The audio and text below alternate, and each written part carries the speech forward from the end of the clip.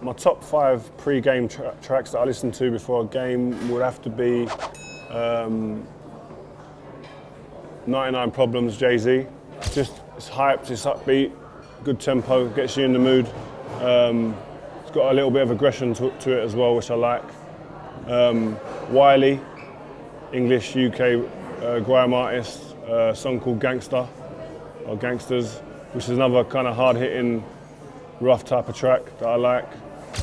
Tupac and Snoop Dogg, America, two of America's Most Wanted, another kind of hard-hitting up-tempo song. Rick Ross, uh, Maybach Music.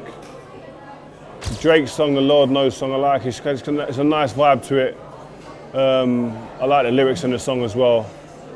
Um, I just like more kind of rougher, rougher type songs. Um, get you hyped up for a game. Thanks for watching, guys. It's been a pleasure. Don't forget to subscribe.